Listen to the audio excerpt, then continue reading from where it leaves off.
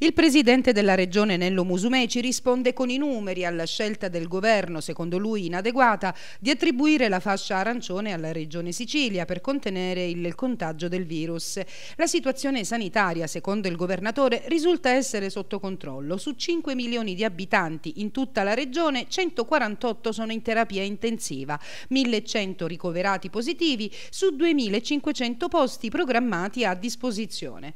Nello Musumeci esprime il suo pensiero pensiero durante un programma televisivo in onda su Rai 1. Spero si tratti di una svista da parte del governo, dice Musumeci, perché con questa manovra governativa per quanto riguarda la Sicilia sembra di essere su scherzi a parte. Voglio sperare che sia stata una svista, un errore di valutazione da parte del Comitato Tecnico Scientifico, perché anche un bambino, se mette a confronto i dati della Sicilia con quelli di almeno altre 6-7 regioni d'Italia, si rende subito conto che si tratta di una grande, grave sbavatura. Pensi che noi abbiamo 148 posti occupati in terapia intensiva e siamo una regione di 5 milioni di abitanti.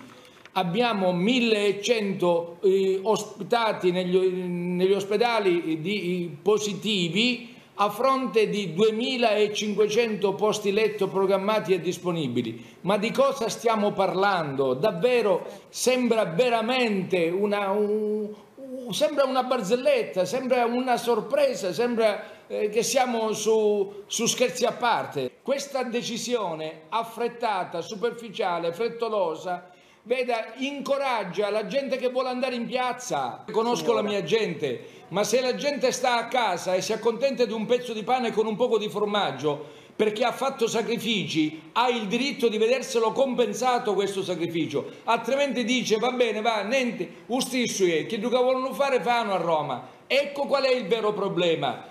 Noi siamo stati una regione che nella prima fase abbiamo seguito la linea della fermezza e del rigore e quando poi arrivano questi risultati è chiaro che si prova amarezza e qualcuno prova anche rabbia, ma siccome i siciliani siamo un popolo civile, stia tranquilla che se andiamo in piazza lo facciamo per protestare civilmente, non certo per poter degenerare o alimentare violenze.